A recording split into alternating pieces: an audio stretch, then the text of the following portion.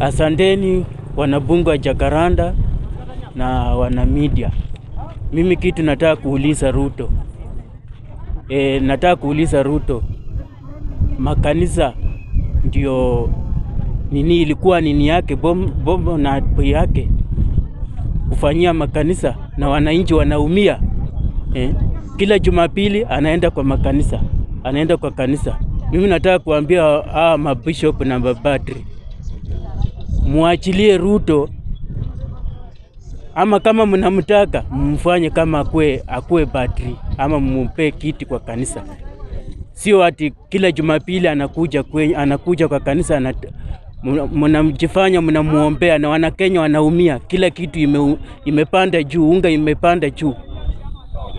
Aya, kitu ya pili na nauliza Ruto, ulikuwa unasema ati Raila ameshikana na Uhuru kufanya handshake ndio ilifanya vitu ipande.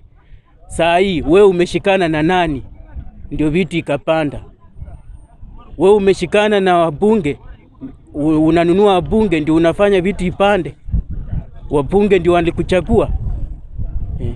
Kitu ya pili, Ruto wachana na Raila Ra hmm?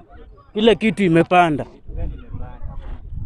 wao ujui kitu imepanda, unga imepanda, kila kitu imepanda, hakuna kazi eh. Bwana ongea wachana hawa. Okay, okay, okay.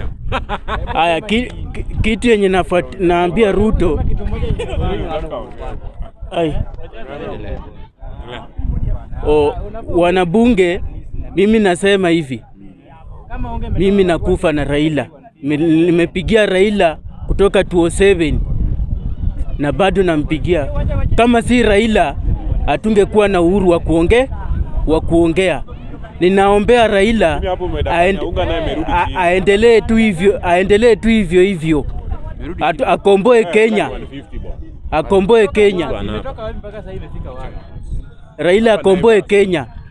Watu tunaumia, hakuna kazi Kenya, kila mahali kumekauka.